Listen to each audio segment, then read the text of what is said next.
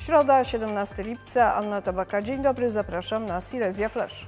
Zaczynamy od kolejnego nielegalnego składowiska odpadów i interwencji strażaków. Tym razem w miejscowości Paniówki w powiecie gliwickim. Sprawą zajmuje się już prokuratura, a my byliśmy na miejscu. Paweł Jędrusik. Zgłoszenie o wycieku niebezpiecznej substancji strażacy otrzymali około godziny 10. Miało dojść do rozszczelnienia jednego ze zbiorników w miejscu składowania odpadów. Rano dowiedziałem się, że jedą w te miejsce straże z Gliwic, z Paniówek, więc udałem się w to miejsce i właśnie dowiedziałem się tutaj od panów ze straży, że tutaj jest tyle zbiorników. Mieszkańcy mówią, że o składowisku odpadów w tym miejscu nie wiedzieli. Dowiedzieliśmy się przez przypadek tak zupełny. W dniu wczorajszym e, ja wezwałem e, przez 112 Straż Pożarną, ponieważ dusił nas jakiś dym, e, zapach, który no, gryzł w gardło, bolały głowy. Przyjechała Straż Pożarna, jedna, druga poinformowała nas, że nie ma żadnego zagrożenia, że prawdopodobnie jest to oprysk z pola.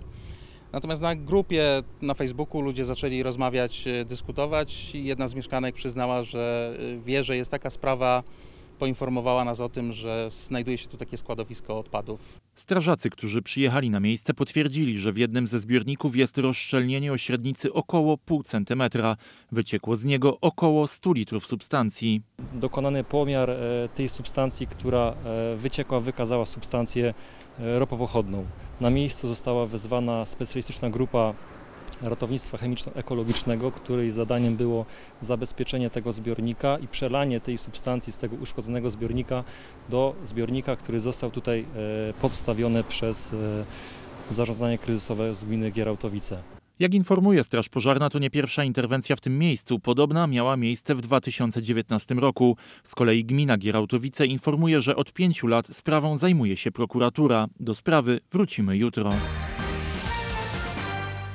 Centralne Biuro Śledcze Policji i Śląski Urząd Celno-Skarbowy zlikwidowali nielegalną fabrykę papierosów i rozlewnię alkoholu. Wśród zatrzymanych sześciu osób są pseudokibice Zagłębia Sosnowiec.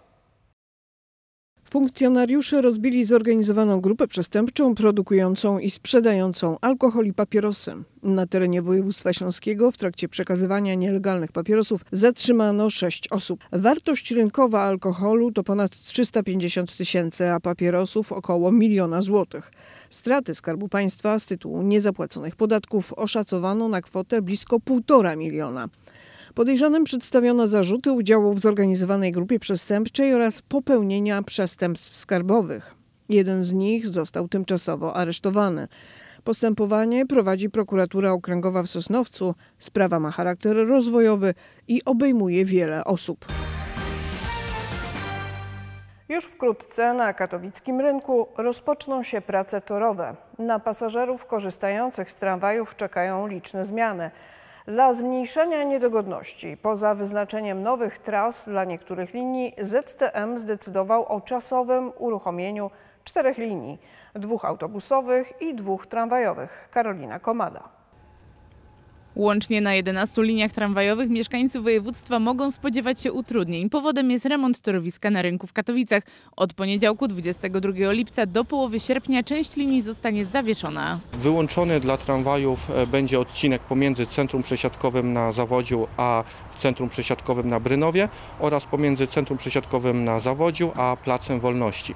Na tym odcinku e, tramwaje nie będą kursować. Dla zminimalizowania niedogodności poza wyznaczeniem nowych tras dla niektórych linii tramwajowych ZTM zdecydował m.in. o czasowym uruchomieniu czterech nowych linii, dwóch tramwajowych i dwóch autobusowych. Będzie to linia 20 i 40. One kolejno połączą Koszutkę z Placem Wolności i Chorzowskim Rynkiem oraz Plac Wolności z zajezdnią na Chorzowie Batorym. Natomiast jeśli chodzi o te dwie linie autobusowe, e, to będą to e, tymczasowe e, linie T oraz T6 i autobusy tych linii będą kursować pomiędzy Placem Wolności a Centrum Przesiadkowym na Brynowie e, oraz pomiędzy Placem Wolności a Centrum Przesiadkowym na Zawodziu. Zaplanowano także uruchomienie ponad 20 tymczasowych przystanków, m.in. na Placu Wolności i Placu Miarki, a także przy Uniwersytecie Ekonomicznym i Akademii Wychowania Fizycznego. Mają one zastąpić dotychczasowe przystanki tramwajowe. Dokładne informacje o zawieszonych liniach dostępne są na stronie internetowej ZTM. W momencie dachowania samochodu nie jesteśmy w stanie utrzymać się w pozycji siedzącej ani rękami, ani nogami. Tylko prawidłowo zapięty pas może zwiększyć nasze szanse na przeżycie. Dziś przypominała o tym Śląska Drogówka, a akcję obserwowała Fatima Orlińska.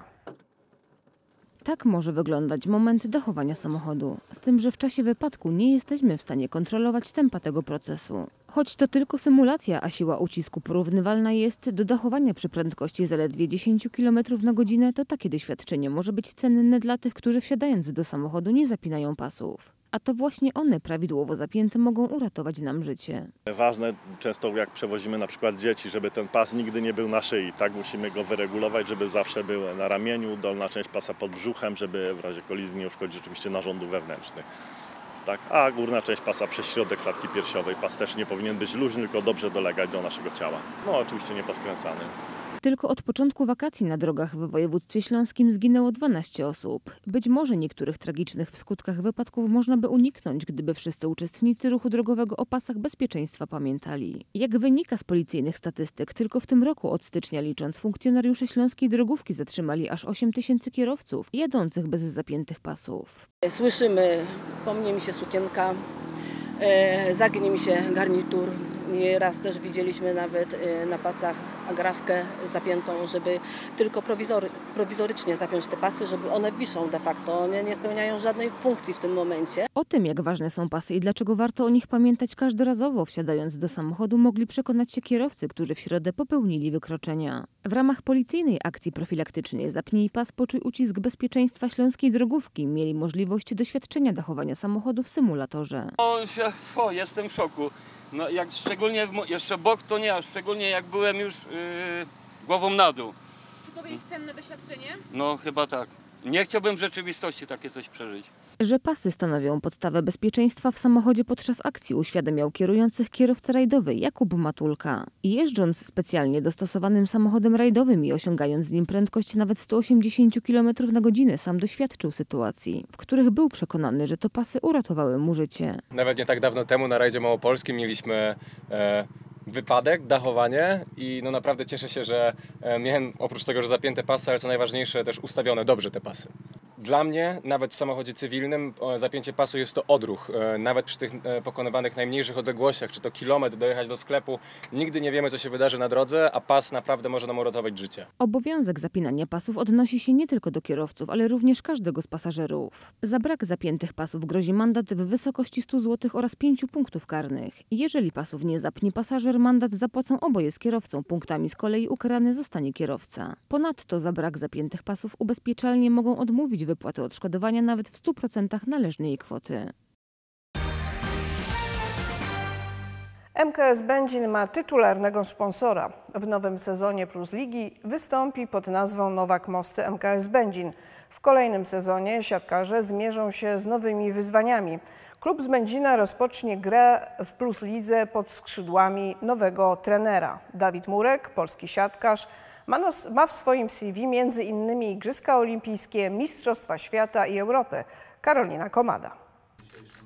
Grał na pozycji przyjmującego i libero, jednak od czterech lat jest po drugiej stronie boiska. Dawid Murek został nowym trenerem MKS-u Będzin. Choć zawodników zna jeszcze z czasów czynnego grania, to i tak czeka go wiele pracy. Będzie to ciężki sezon. E, Każdy, każdy zdaje sobie sprawę, że e, e, trzy zespoły spadają w tym sezonie. Tym bardziej jest to, jest to trudny, trudny sezon dla naszego klubu. Dlatego tak po cichu mówiłem sobie, a trzeba chyba wziąć tego byka za rogi, bo no jest, to, jest to naprawdę trudne wyzwanie. Ja myślę, że przede wszystkim powinniśmy się skupić na tym, co chcemy wykonać, jaką solidną pracę w okresie przygotowawczym i wtedy stopniowo myśleć i sobie wyznaczać cele. W wyznaczaniu ścieżki sukcesów ma pomóc nowy sponsor. Zapewni komfort pracy i stabilność finansową. W nowym sezonie drużyna będzie występowała pod nazwą Nowak Mosty MKS Będzin, a Będzińska Arena zmienia nazwę na Nowak Mosty Będzin Arena. Umowę podpisano na rok. w świecie dużego sportu jest już nieodzownym elementem,